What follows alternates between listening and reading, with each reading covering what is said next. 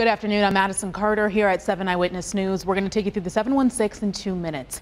Hundreds of people who work for the city of Buffalo are about to get a boost in their hourly pay. Now, this is also known as the living wage. The Buffalo Common Council approved the rate increase yesterday. Starting next summer, all workers will make $15.38 an hour, whether they have health insurance or not. Right now, workers who have health insurance through their company on minimum wage make 20, or excuse me, 12.04 per hour, and those without health insurance make 13.50.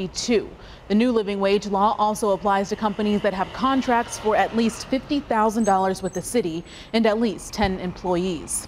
Now to a new law designed to close the gender pay gap here in the state of New York. This morning, Governor Cuomo signed legislation that requires employers to offer equal pay for substantially similar work. This also forbids employers from asking people about their salary history when applying for a job.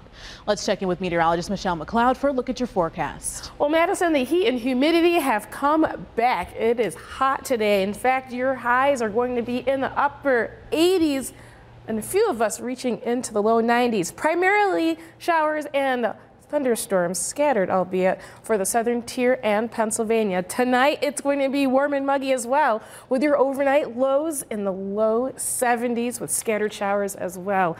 Taste of Buffalo is coming up on Friday, and so far, so good. But everyone getting in on those showers on Thursday before Friday happens. We got to get through the showers. Friday looking nice and dry, and your weekend for the Taste of Buffalo looking beautiful and warm as well. Enjoy the forecast.